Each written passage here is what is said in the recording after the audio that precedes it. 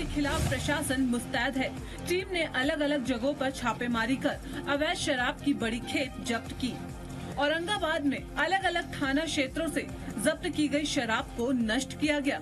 अधिकारियों के अनुसार 2016 से लेकर अभी तक औरंगाबाद के विभिन्न इलाकों में लगभग दस हज़ार लीटर शराब बरामद की गई थी, जिसमें 746 लीटर विदेशी शराब थी, जिसे पूरी तरह से नष्ट किया गया।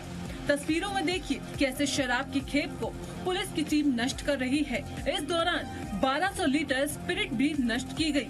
अधिकारियों ने कहा, शराब माफिया कितनी भी कोशिश क्यों न कर ले, प्रशासन की सख्ती बरकरार रहेगी